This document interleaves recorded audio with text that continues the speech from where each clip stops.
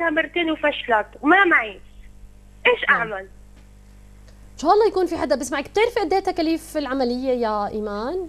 أنا هلأ طالب مني الدكتور 2700 دينار غير اللي طلبت اللي دفعته. طيب صوتك على الهواء إيمان إن شاء الله الله بطعمك وما في أجمل من نعمة الأمومة بهي الدنيا. الله بطعمك إن شاء الله ووجعتي قلبي والله يا إيمان. شكرا لك إن شاء الله إنه حدا من أهل الخير يفزعلك يعني لو يساعدوك بشيء بسيط. إيمان حطت إيدها على الوجع. أنا في ملاحظة كاتباها على دفتر الملاحظات تبعي. يمكن أنا ما كنت حابة إني أنا أحكي عنها بحلقة اليوم. بس سبحان الله جت بظروفها زي ما بيحكوا. إجت بظروفها. فيمكن أنا بس رح أحكي يعني راس الموضوع ورح نتركه للحلقة الأسبوعية المخصصة لإثارة قضية اجتماعية. يمكن رح يكون معنا الأسبوع الجاي حلقة زي حلقة امبارح نحكي فيها بموضوع اجتماعي بحت بعيدا عن السياسة والمشاكل والهموم والخدمات إلى آخره. رح نحكي بهم اجتماعي وبقضية اجتماعية.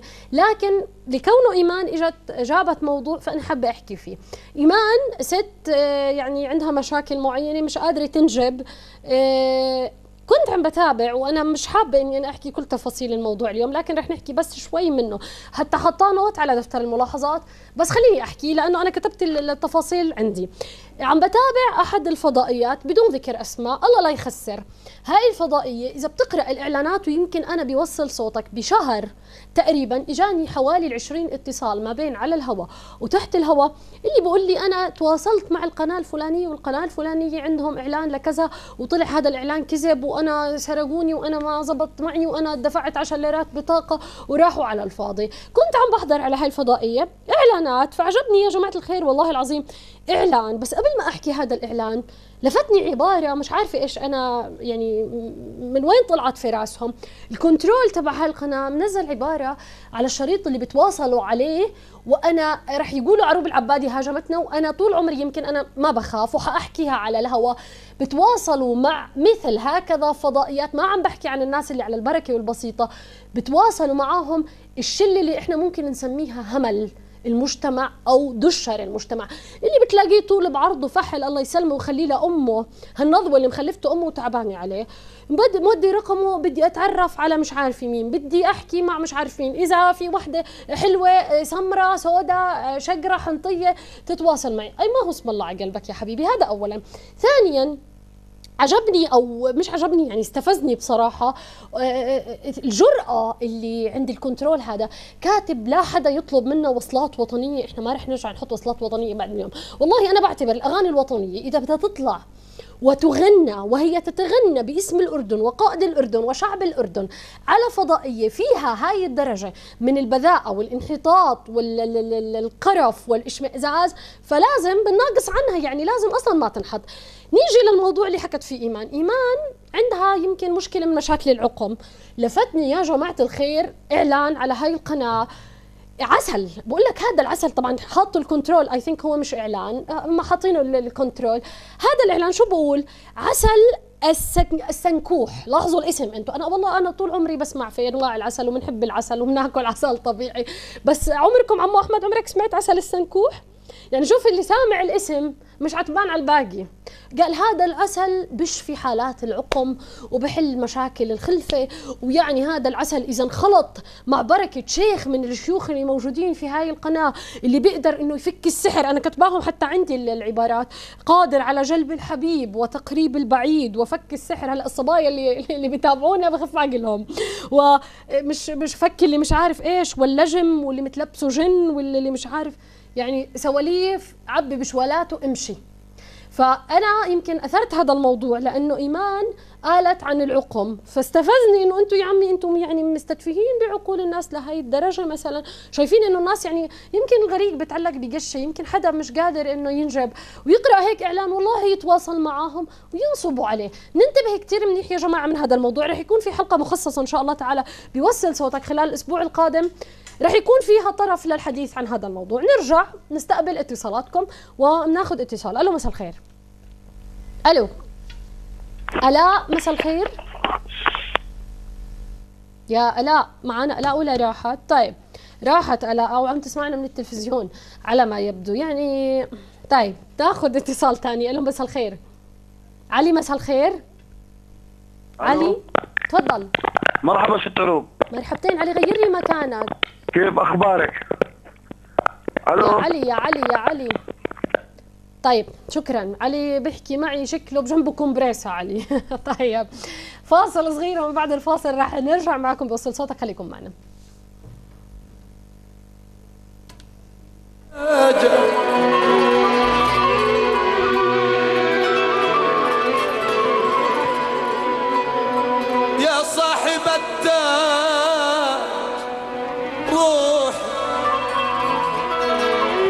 التاج ما زلت رغم ظلام الليل وهاج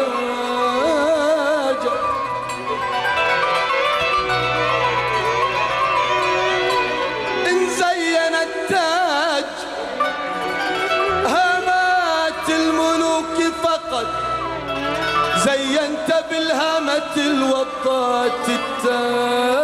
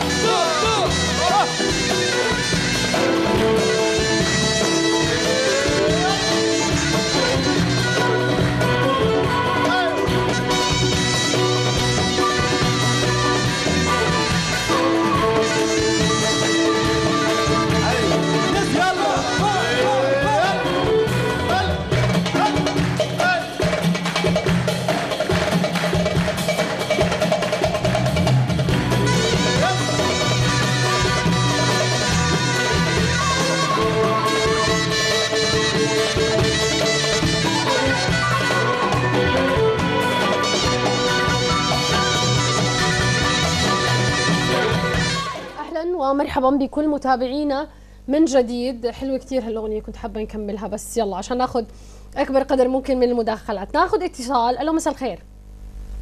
ألو. وبعدين هلو. أبو محمد؟ محمد من المملكة العربية السعودية. مساء الخير يا محمد. أم محمد من السعودية. مساء الخير يا أم محمد. طيب أخ صابر مساء الخير. إيش المشكلة يا جماعة؟ طيب شكرا للاتصالين عم ما بعرف عندنا مشكلة بالاتصالات على ما يبدو. بدي أعتذر منك يا أم محمد زملائنا يا ريت تعطوني الاسم قبل ما تدخلوا لي الاتصال يعني بدل ما أقعد أتحذر مين معانا. حكينا الاسم ثلاث مرات غلط. أرجع اذا لموضوعنا الرئيسي بحلقة اليوم. إن شاء الله إنه يسعفنا الوقت. إذا مش اليوم بحلقة بكرة رح يكون لنا تواصل مع كل الجهات المعنية بجاهزية فصل الشتاء. ناخذ علي. مساء الخير يا علي. هلا. كيف أخبارك؟ يا هلا. أهلا وسهلا فيك. كيف أمورك؟ أنا تمام. كيفك أنت؟ والله الحمد لله. ست عروب في عندي. ملاحظة بدي امرر لك إياها. تفضل.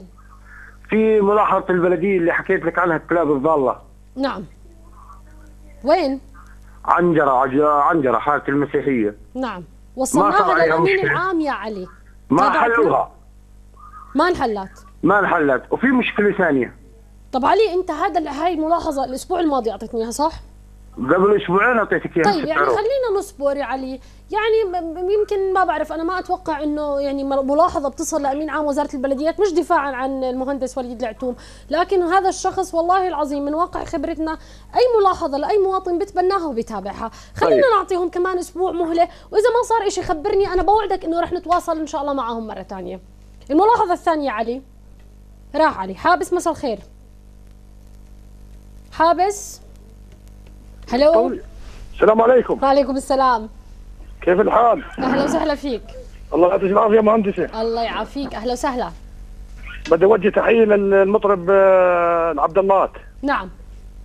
لا لأن. الأغنية كويسة اللي حطيتيها قبل شوي. نعم نوجه له تحية دائما. صوت الأردن عمر عبد الله. بس بدنا أغنية دقينا على صدورنا يا سيدي واشبه إذا تكرمت علينا هالاغنيه عن جد حلوة. إن شاء الله الله- إذا موجوده عندنا بنحط لكم إياها يا علي. يا حارس شكرا على البرنامج المرتب الكويس. تسلم. وبارك الله فيك شوي للامام يا أخت تسلم. عروب. تسلم. شكرا, شكراً. حابس شاركنا دائما. ناخذ آه، كمان اتصال. ألو مساء الخير. مين؟ طيب راح الاتصال. آه اذا بنرجع بنحكي يا جماعة فصل الشتاء هو فصل يمكن فيه من الخير كتير. أنا بتمنى من هذا المنبر منبر وصل صوتك اللي هو منبركم أنتو. أي شخص الله فاتح عليه ومعطيه من وسع. يتواصل يعني مع الناس الفقيرة يبحث عن الناس الفقيرة اللي بتتأذى كتير من فصل الشتاء. وتحديدا جيوب الفقر في الأغوار الناس اللي عايشة بزينكو.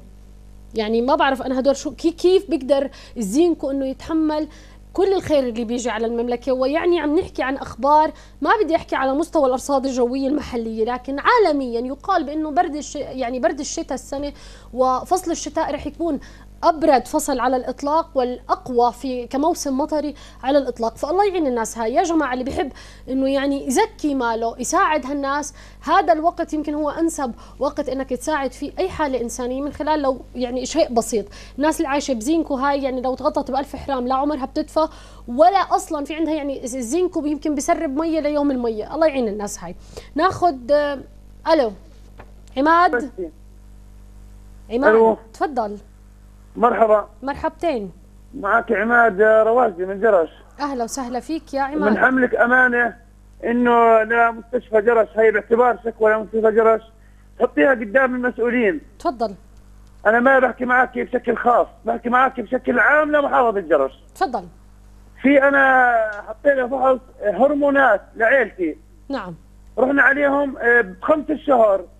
حطينا الفحص وبعده لغاية الآن ما طلع خمسة أي لهم يا شهر؟ جماعة طب ليش مش طالع؟ خمسة يحكوا عشر لي إنه ما فيه آه، المادة اللي بيعملوا فيها هذا الفحص معروف قلنا. طيب جيبوها بقولوا بدنا ننزل عطاء. وننزل كذا معروف. وما في بالوزارة وبنجيبها من برا ومش عارف إيش يا إخوان هذا هذا فحص هذا بتعلق بحياة إنسان ومش رادين لحياة لمن تنادي طيب عماد نعم خمسة عشرة أنا فحصي ب 12 10 هم من غاية آه، 5 10 ما عملوا ولا فحص. يعني لو تروح الآن عليهم على مستشفى جرش بتلاقي عندهم حوالي 200 300 فحص بيستنوا. تعرف شو اسم المادة هاي يا عماد؟ آه، آه، فحص الهرمون آه، هو فحص هرمونات. ما بتعرف شو اسم المادة.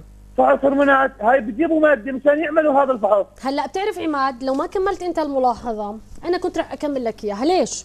لأنه يمكن مش بس في مستشفى جرش من فترة تواصلوا معي بتذكر على مستشفى الجامعة شباب مزبوط ومستشفى البشي أغلب مستشفياتنا بيكون في فعلا نقص بهاي المادة اللي هي بتعمل تحليل للهرمون تستخدم في المختبرات وهي فعلا بدها عطاء. الآن هذا التأخير من وزارة الصحة. أنا بوعدك رح نتواصل مع وزارة الصحة ولكن هي مش بس مشكلة مستشفى جرش هي أغلب مستشفياتنا بتعاني من نفس المشكلة. شكرا شكرا لعماد. تحياتي لك وسلامتها زوجتك.